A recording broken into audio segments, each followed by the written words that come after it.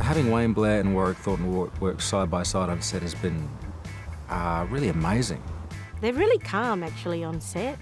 With Warwick and Wayne is unbelievable. I've enjoyed it a lot to work with them both.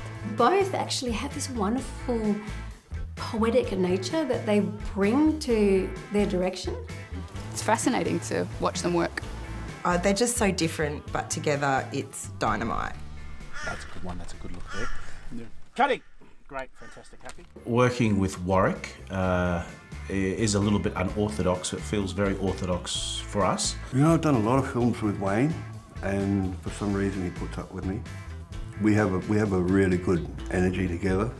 He drives me mad, but actually it makes always makes a better scene and makes a better film. Um, there's just a second-hand nature that's ingrained in us um, with the history that we've had. You just just have a rapport that sort of you, money can't buy.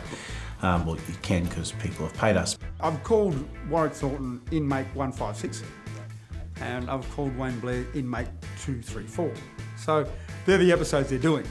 We have done something very unusual in this series in that we are not shooting it in blocks um, like traditional TV is done. We're shooting it like a six hour feature film.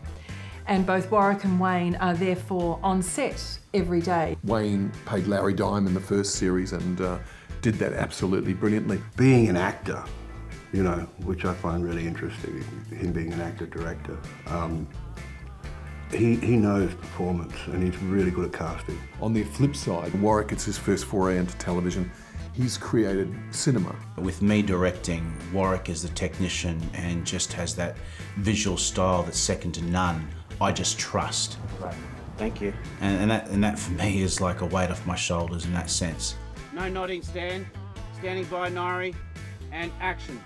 I can create incredibly pretty shots, but he really does dig deep into performances. So when I watch him, I learn a lot. So that's really important for me. I'm, I'm learning on this film all the time about the direction of actors and all that sort of stuff. So quite empowering watching the bastard work.